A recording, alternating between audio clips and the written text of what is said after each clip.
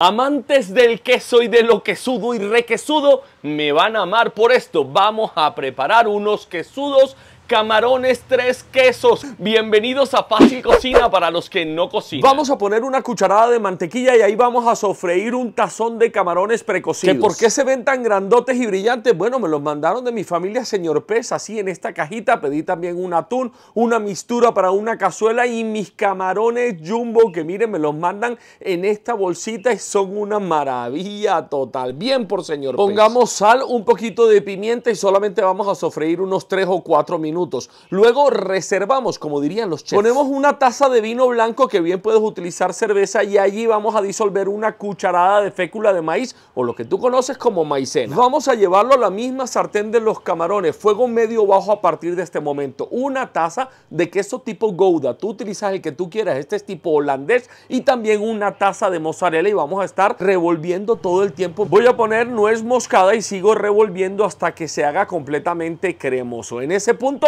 devuelvo los camarones, revuelvo y ya tengo mis camarones. Pero ahora yo lo voy a llevar a un chochito de la chamba porque voy a gratinar. Ponemos por encima bastante queso parmesano y llevamos a un horno o a un hornito. Máxima altura, máxima temperatura, que quede bien arriba y básicamente lo ponemos ahí hasta que se ponga doradito por encima. Y miren esto, cómo ha quedado, por amor de Dios. Y ahora sí, chucutum para adentro. ¿eh?